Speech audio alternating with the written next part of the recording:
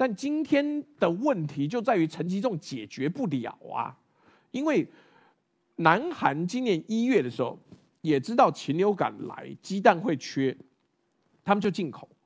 那我们也知道禽流感来，但是我们的选择就是告诉你说不缺蛋，你想太多了，没有缺，只是你家没有钱。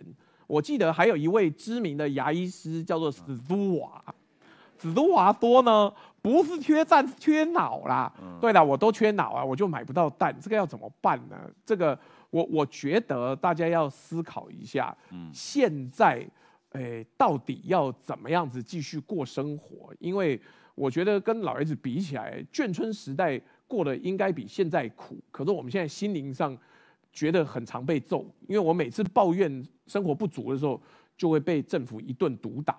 这个我也不知道要怎么办。